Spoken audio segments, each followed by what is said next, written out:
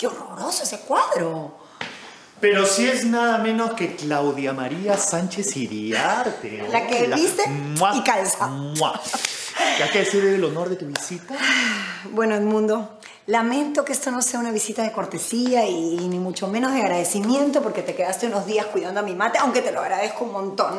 Bueno, ¿y qué tal el viaje de reconciliación? ¿Se amistaron con mi primo? Ay, no, estamos peor que nunca, pero eso no importa.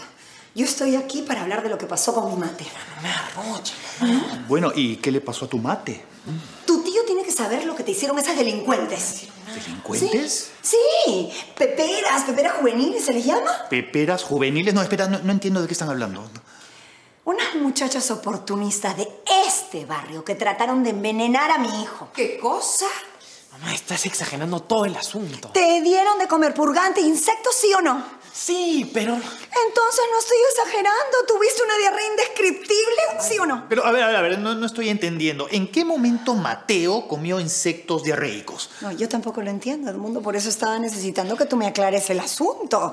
Porque yo estaba, te cuento, en Fort Lauderdale, en la bahía, en un yate impresionante, tomando champán con tu primo, a punto de la reconciliación. Tú me miras, yo te miro y estábamos así, so close, y de repente me llaman de la clínica a mi teléfono satelital tal gracias al cielo, a decirme que mi hijo estaba con una diarrea punto de la deshidratación absoluta. Y yo en ese momento en verdad me quería dar, me quería dar. Yo ya me estaba yendo y felizmente agarré el primer vuelo y todas mis cosas y tuve que volar en Economy.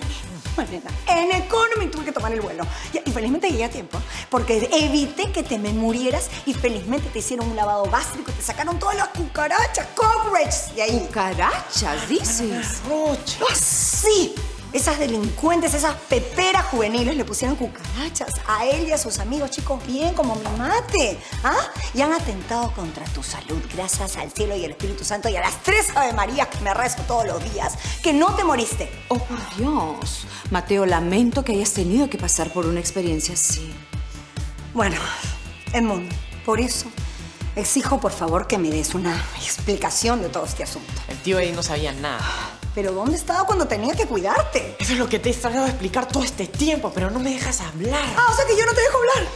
Es que él está... Ah, mira, tú el que no dejas hablar. Tú eres hijito el que no deja hablar y luego dicen que soy yo. A ver, cuéntame. Cuando dijiste lo de las cucarachas, me entró una ligera sospecha. Entonces, todo fue una venganza de las chicas. Bueno, si quisieron hacerla sentir mal.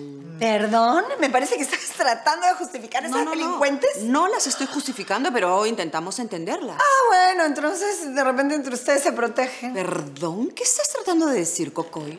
Mateo no ha podido dormir en toda la noche de lo escaldado que estaba.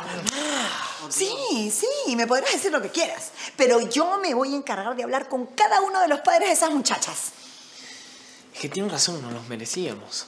¡Ay, ya te lavaron el cerebro ya! Ya, ya estás pensando diferente. Mira, no te preocupes, yo solamente quiero hablar con cada uno de ellos para enseñarles cómo tienen que corregirlas, cómo se debe. Y tú me vas a llevar a la casa de cada una. Pero, Coco, ¿tú crees que sea necesario? Of course, it's totally necessary. Bueno, en eso te doy la razón. Hay que poner límites. Si no, se te suben hasta el hombro.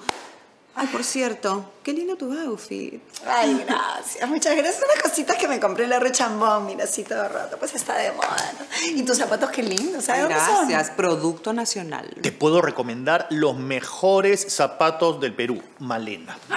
Ahora que lo mencionas, una amiga súper cercana se compró unos zapatos de tu marca y el cuero olía pezuña. No, y el, pie le quedó con un olor como un mes. Es imposible, mis zapatos son de primerísima calidad. Bueno, yo te digo lo que sé. Bueno, tal vez no eran míos. Puede haber sido una imitación de tu marca también, ¿no? Bueno, nos vamos, vamos. no, no, se paren, chicos, la distancia. Social, social distance. Eh, te quería decir algo hermoso tu cuadro. Lindo, León. Chao, Mateo. Chao.